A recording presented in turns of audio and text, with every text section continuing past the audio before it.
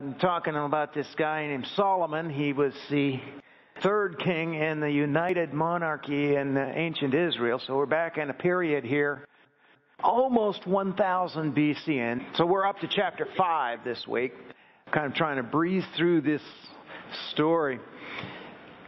We read in verse 1 that King Hiram of Tyre had always been a loyal friend of David, that's Solomon's father. When Hiram learned that David's son Solomon was the new king of Israel, he sent ambassadors to congratulate him. then Solomon sent this message back to Hiram You know that my father David was not able to build a temple to honor the name of the Lord his God because of the many wars waged against him by surrounding nations. He could not build until the Lord gave him victory over all his enemies. But now the Lord my God has given me peace on every side. I have no enemies, and all is well. So I'm planning to build a temple to honor the name of the Lord my God, just as he had instructed my father David. For the Lord told him, Your son, whom I will place on your throne, will build a temple to honor my name. And so this now's the occasion to build a temple to honor the name of the Lord.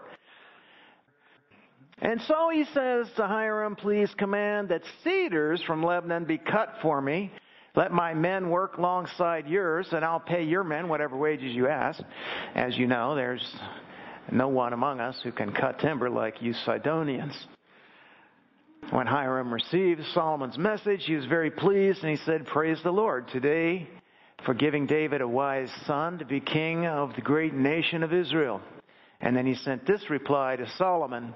I've received your message and I will supply all the cedar and cypress timber you need. My servants will bring the logs from the Lebanon mountains to the Mediterranean Sea and make them into rafts, then float them along the coast to whatever place you choose. And then we can break the rafts apart so you can carry the logs away. You can pay me by supplying me with food for my household. And so it was in the mid spring, in the month of Ziv, during the fourth year of Solomon's reign, that he began to construct the temple of the Lord. This was 480 years after the people of Israel were rescued from their slavery in the land of Egypt.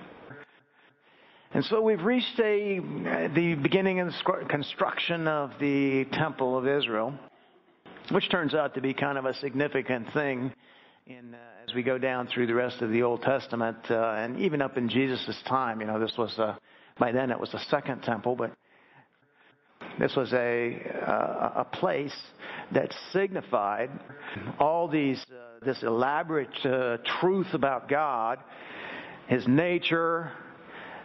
They had this sacrificial system that kind of displayed and demonstrated principles of God's justice and how people had to approach God through an intermediary in priests and how they had to offer a uh, offer animal sacrifices uh, as a principle of substitution, the innocent dying in place of the guilty, and that all of this turns out to be a picture of the work of Jesus Christ. This verse in 1 Kings 6 1 is important for historians because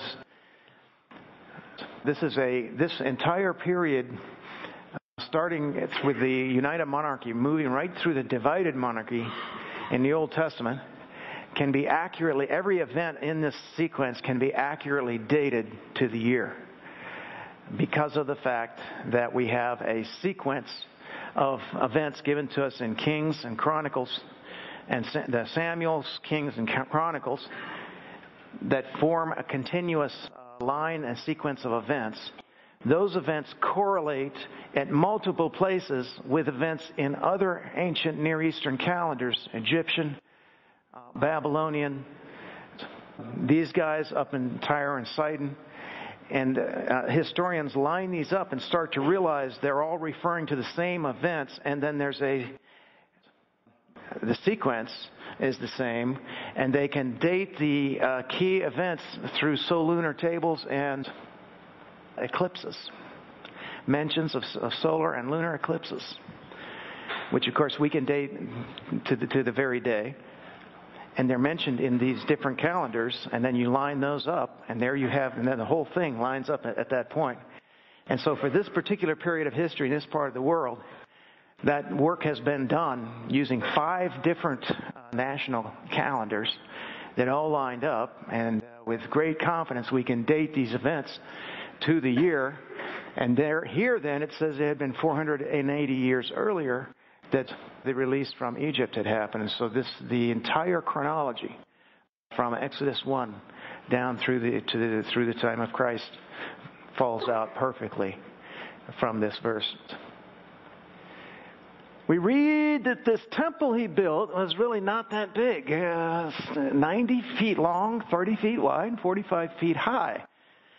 Well, it's about the size of this building and in fact, really not as wide. It's only 30 feet wide. This is a good 45, 50 feet wide. So, I mean, it's quite narrow. It's really about, um, it's really not very big at all. It's tall, though. Imagine it's only 30 feet wide, but it's 45 feet tall. Real strange. Uh, so it's very tall, soaring affair. Remember, we think people think of cathedrals and churches and stuff as places where people go in as a place of worship. This was not the case with the temple. It wasn't for the people to meet inside of the temple. They, they came outside of the temple. Inside of the temple, there was no furniture. There was an altar, and then the the 90 foot business was actually divided one third and two thirds, a 60 foot piece and a 30 foot piece. So the end was 30, 30, 30 on all four sides. That's the Holy of Holies. And then there was this outer court. And mainly it was just the priests doing their work in there. The uh, people could come in to observe, but then they'd go right back out. It wasn't like today where you actually go in and sit inside of like a church building or something like that. This place was just a, a display, a place of, to display these symbols and to teach on that, on that uh, level. There's an entry room. Some of your translations call this an entry uh, a porch. It's it's apparently kind of a, a, deck or porch out in front of it, another 30 feet, 15 feet extended out. Maybe it was sort of a covered porch. We read that he also made narrow recessed windows throughout the temple he built a complex of rooms against the outer wall. So here's this only 30 foot wide room all the way around, another set of rooms outside of it that went three stories tall.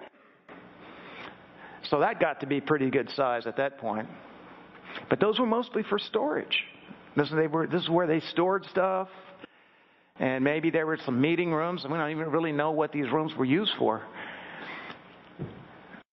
We know that these timbers, you know, they go, they go into all that whole thing about how they were going clear up into Sidon to get the, the cypress and so on, and float it down to the coast, and then with oxen drag it up to Jerusalem, which is a 2,500 foot uh, incline in uh, elevation to get up there and they got a hell lot of timber. The whole the whole temple was paneled inside, the floor, all the walls, and the ceiling was all wood.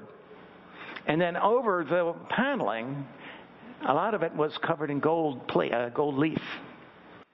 So a lot of wood, but also a lot of stone.